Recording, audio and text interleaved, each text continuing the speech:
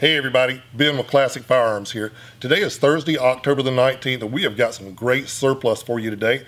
But before we get there, I would be remiss not to remind you that we still have our drawing going. One lucky winner will be winning one of these fabulous BM59 rifles by James River Armory. Uh, this is one of our top selling rifles day in and day out. People love them. We get fantastic reviews on these rifles, and we are going to be drawing a winner very shortly. Now, we have a block right up here in the corner of the screen that you can uh, click on and sign up, and one lucky person will win. Let me set this down. I want to show you what we got for today. Once again today, we have for you the very hard to find, highly collectible Enfield number four Mark 1 rifles. Now, up until about oh, several months ago, for the past 10, 15 years, Enfields were virtually impossible to find in the country. Classic found a small cache of these rifles. We've been bringing them to you in groups. I think this is about our third offering that we've had.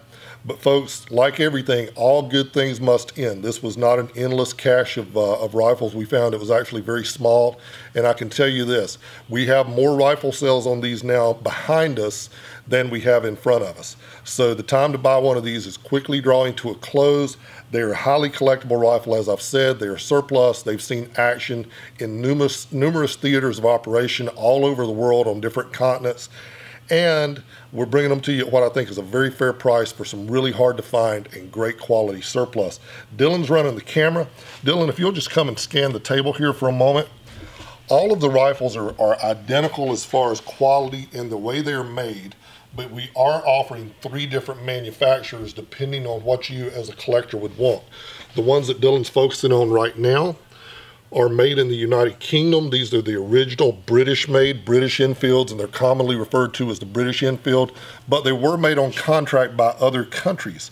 Uh, the ones here in the center are the Canadian made, made by the Canadian factory Long Branch.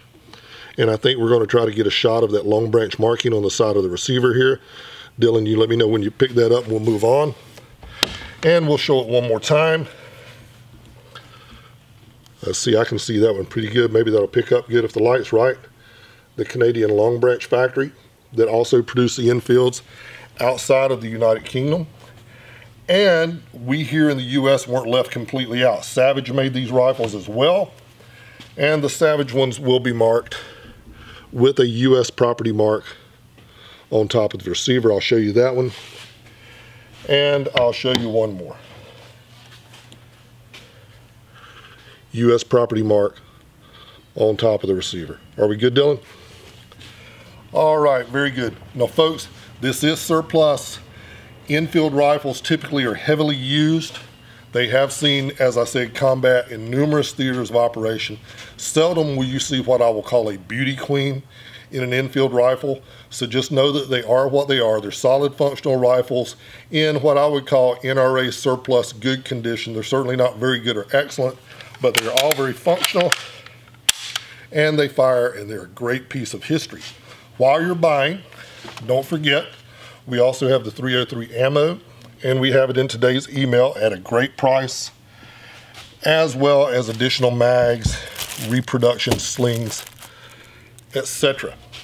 Uh, folks, if you're watching this video in conjunction with the email, we appreciate that we have something very special at the bottom of today's email. Now, if you're not on our email blast, we're going to show you a way to sign up in a moment.